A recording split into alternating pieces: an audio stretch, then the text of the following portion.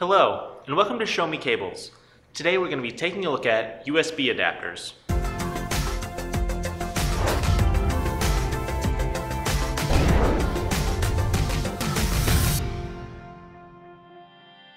This is the USB 2.0 A male to A female adapter.